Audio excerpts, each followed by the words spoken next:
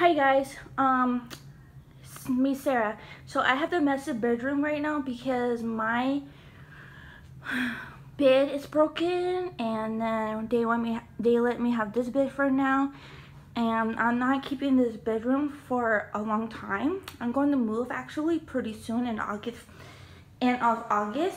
Right now I have the master, I moved to the master bedroom, the master bedroom for now.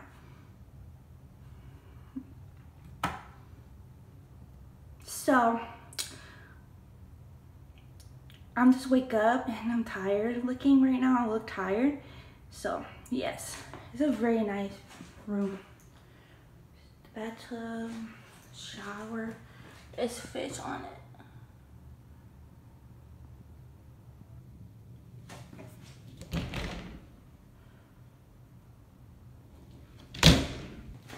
My closet box.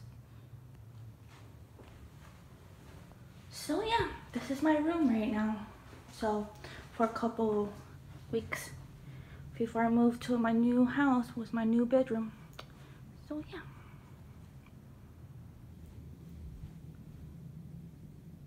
And my big dresser actually not in here yet. So yeah I'm going to move it in here. My big dresser